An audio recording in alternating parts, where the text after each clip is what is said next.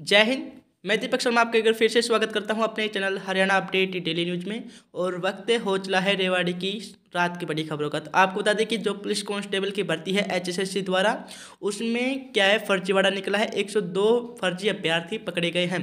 हरियाणा कर्मचारी चयन आयोग ने पाँच हज़ार पाँच सौ पुलिस कांस्टेबल भर्ती प्रक्रिया में स्क्रूटिन के दौरान 102 फर्जी अभ्यर्थी पकड़े हैं। इनकी सूची आयोग ने पंचकुला पुलिस को सौंपते हुए भर्ती प्रक्रिया से बाहर भी कर दिया है और जाँच पुलिस को सौंपती है। कुछ ने स्वीकार कर लिया है कि उन्होंने पेपर ही नहीं दिया था।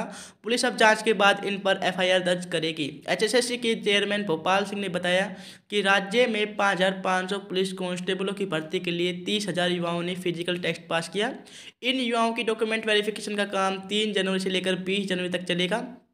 चेयरमैन ने बताया कि आयोग के पास डॉक्यूमेंट वेरिफिकेशन करवाने के लिए कई अभ्यर्थी पहुँचे। उनकी बायोमेट्रिक अटेंडेंस मैच नहीं हुई। आयोग की टीम ने संदेह होने पर उनकी वीडियोग्राफी चेक की और लिखित परीक्षा के दौरान सीसीटीवी फुटेज भी चेक किए तो मैच नहीं हुए।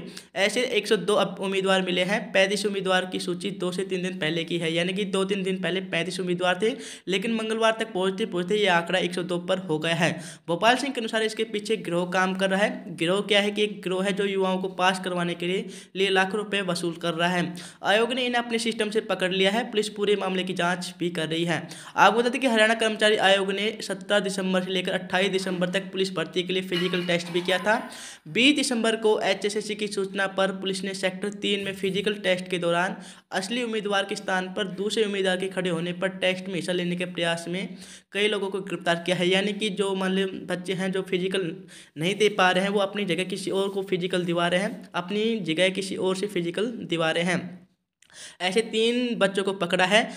आपको बता दें कि इनको गिरफ़्तार भी कर लिया गया है और आगे की जाँच की जा रही है और ये पूरी मामले की जाँच पंचकुला पुलिस कर रही है।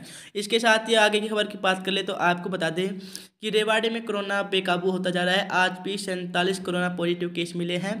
इसके साथ अपने रेवाड़ी ज़िले में दो सौ चौहत्तर एक्टिव केस की संख्या पहुँच चुकी है। इसलिए आप मास्क लगा कर रहें, सोशल डिस्टेंसिंग अपनाएँ। अगर आपने दोनों डोज लगवा ली है, फिर भी आपको थोड़ा खतरा है, इसलिए सोशल डिस्टेंसिंग और मास्क ज़रूर लगाएँ।